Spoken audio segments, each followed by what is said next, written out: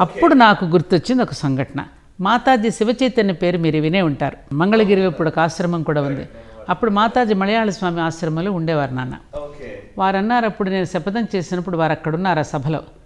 ఆ. వెంటనే ఆవిడ అన్నారు సత్యవాణి గారు ఒక సన్యాసినిగా నేను చేయవలసినది ఒక గృహస్థుగా మీరు చేస్తుంటే నేను గిల్టీగా ఉంది నాకు. మీతో నేను కూడా వస్తానమ్మా మీరు వెళ్ళినప్పుడు నన్ను పిలవండి అంది. ఆ మాట గుర్తొచ్చి వ్యాన్ అంతా సిద్ధం చేసుకున్నాను. మా అమ్మగారు ఇక్కడున్న మా స్నేహితులు విశ్వేందు పరిషత్ వాళ్ళు ఇచ్చారు వ్యాన్కి. వెంటనే మాతాజీ ఆశ్రమానికి వెళ్ళిపోయా.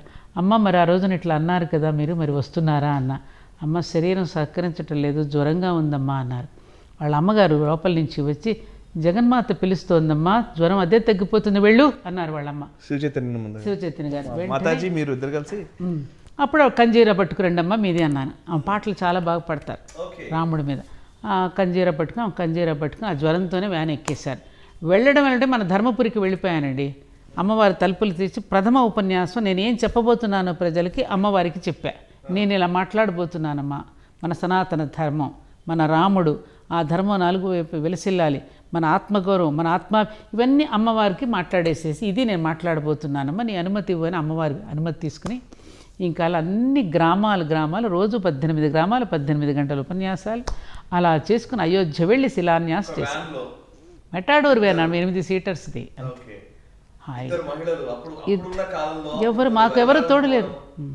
అయితే రాఘవులు గారు తెలుసుగా మీకు రాఘవులు గారు. రాఘవులు గారు గుండేరావు గారు వాళ్ళంతా ఒక రూట్ మ్యాప్ ఇచ్చారు మాకు. ఏ గ్రామం నుంచి ఏ గ్రామం వైపుకి వెళ్ళాలి అని పలానా గ్రామానికి ఇలా అందులో ఇట్లా కురులు తీసేశారు అనేసరికి జనంలో తెలిసేసరికి చూడాలని వస్తారుగా? ఇక ఓ మేము ఎక్కడికి వెళితే అక్కడ పొలాల్లో పని చేసుకునే వాళ్ళు ఇళ్ళలో ఉన్న వాళ్ళంతా రోడ్ల మీదకి వచ్చేసి తెల్లవారు అర్ధరాత్రి వరకు కూడా వాళ్ళు ఇంట్లో పూచిన పూలని పూలలు మాలలుగా కట్టి మీకు ఆ ఫొటోస్ చూస్తే మీరు ఆశ్చర్యపోతారు.